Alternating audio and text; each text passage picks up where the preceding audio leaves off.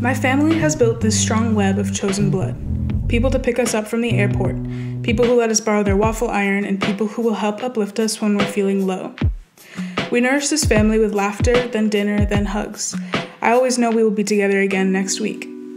We cook and pour drinks for each other. We test out new recipes and savor the old ones, but each brings us closer together. When one of us experiences loss, we mourn together. When someone has an exciting new opportunity, we celebrate.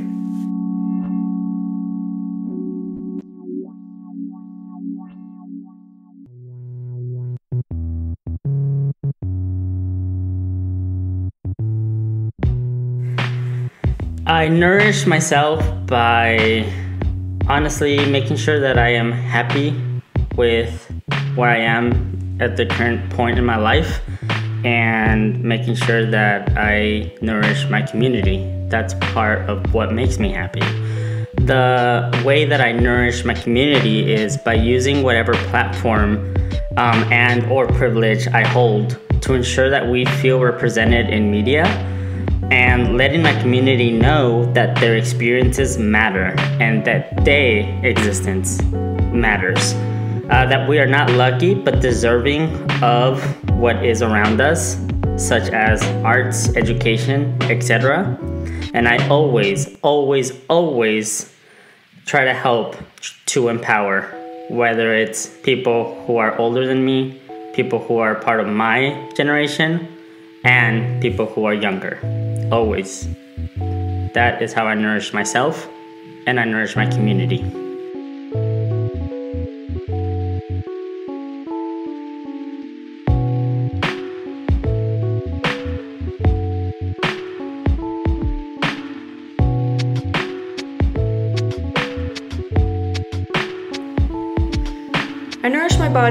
Simple ways. I turn the brightness down on my computer, I drink water every now and then. Uh, I try to stretch my back out after being hunched in front of the computer like a goblin. Um, but I also try to make long term investments in nourishing my body. These are the things that I can't see the results of in a single day uh, or even a single week. These are admittedly the most frustrating. The waiting is the most frustrating, but I do think it will be worth the wait. I can wait to make sure my body has what it needs, that I can reach my full potential. And if I can get through the waiting, then I think I can show up for my community more effectively. And I, I want to be able to show up for my community, for my friends and my family, so I'll do the waiting.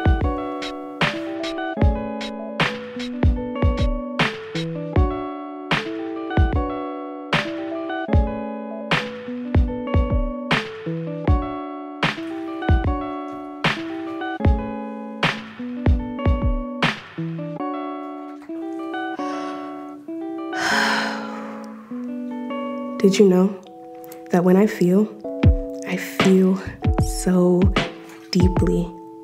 Even the tiniest, minute drop of feeling causes a tsunami. Sometimes I just want to endlessly float, staring up at the puffy clouds moving as silently as I. But, you know, I live in a desert.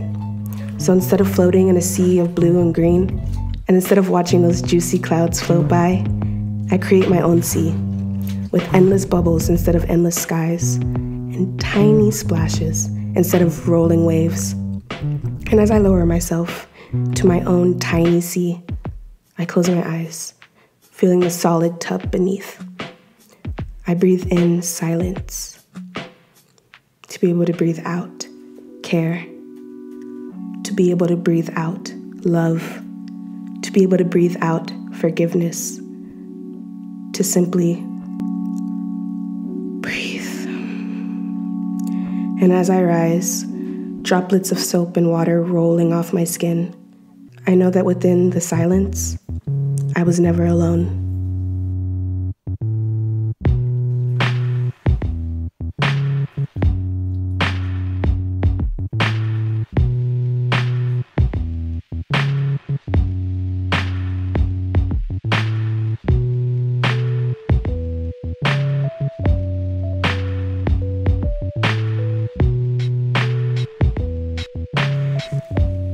There is a silent breeze that glistens through the smell of rich soil and earth.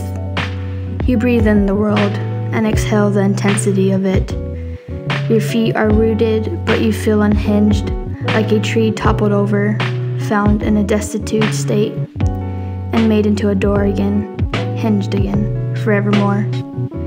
It can be complex, such as the human mind, or simple, such as a wish. You're drained like a fountain without water, or a distilled place without light. And even though it can be harsh and savage in true matters, you must stop. Breathe in the earth and remember who you are. To feel whole again, more alive, more nourished. Maybe stop to feed a plant water or help that baby turtle find the ocean again. Or even giving something of value to you to someone else. It is in that action that you will grow through.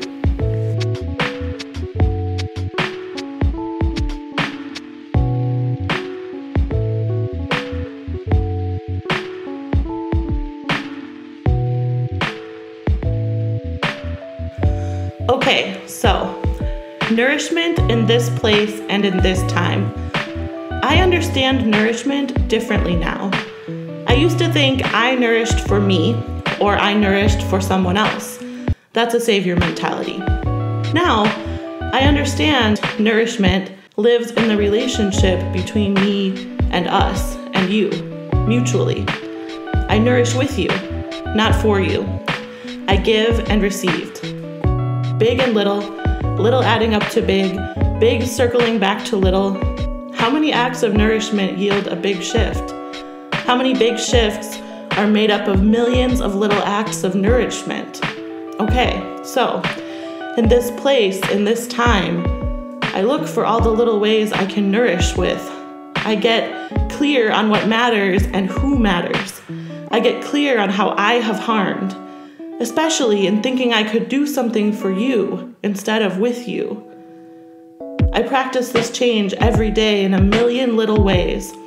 The little nourishments, which roll into a big movement, roll into a giant wave, in fact, that moves across time and histories.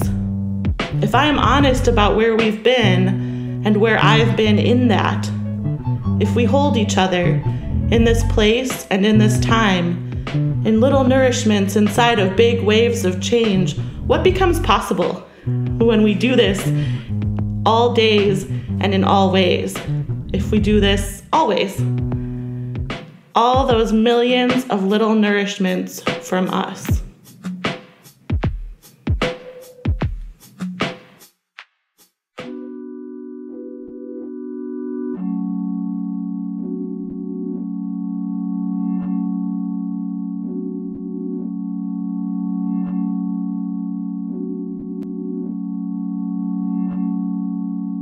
I started a garden at the beginning of the pandemic.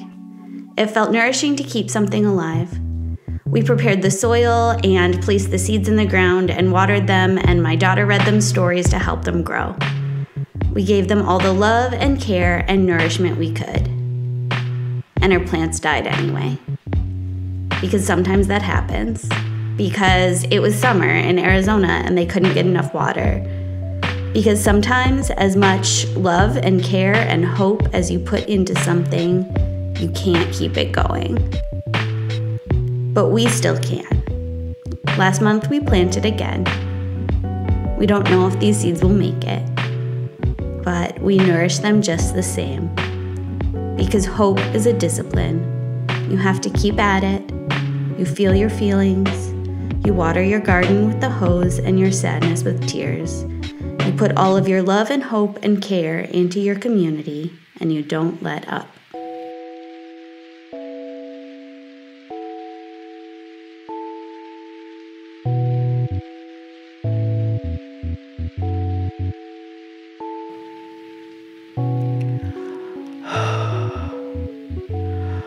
My breath is shaky and my palms are sweaty. I feel my heart rate speeding fast. I take a moment to stop myself. My family and friends are here for me. I am here for them. We hold each other. With food and conversation, we laugh and cry together. Food drop offs are more. there are also love drop offs. Food nourishes the body, and love nourishes the soul. In my community, our spirits are weathering the storm. We plant our feet to the ground. Our ancestors hold us, wait for us, cradle us, catch us. They faced this before. The fight lives in our bodies, all of ours. Though we can't touch, though we can't hold each other, we have each other. Now is a time to hold each other. Soon we will hug the hugs owed. We will hold the hands that have longed to be held. We will be together. This is the power and resilience of my people.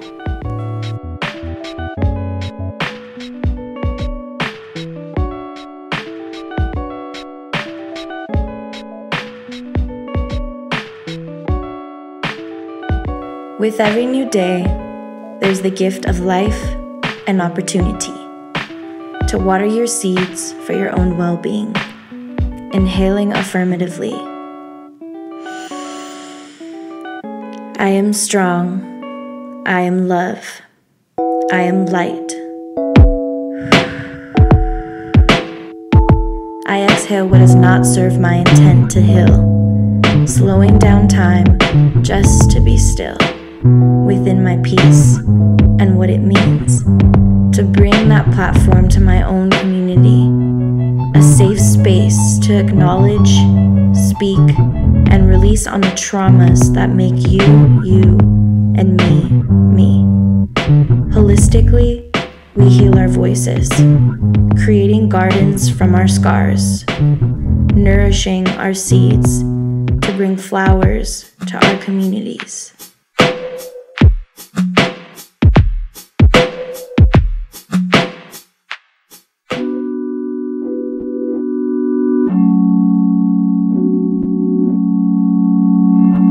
Move, move, move, move, move, move. Keep moving. Don't stop.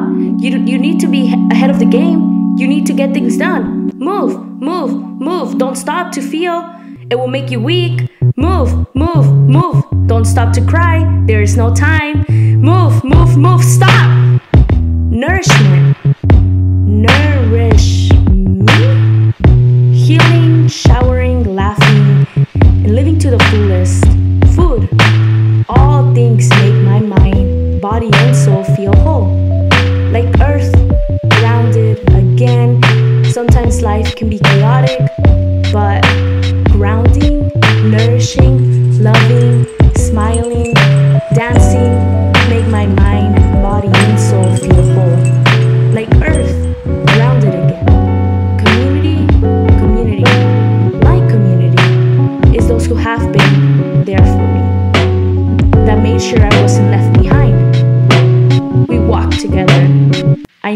Nourish them by learning, dismantling, and healing. Learning to dismantle and dismantle to heal. Learning to dismantle and dismantle to heal. Learning to dismantle and dismantle to heal. I nourish them by holding space just like they have. I nourish them by advocating just like they have. I nourish them by breaking systems that leaves us behind.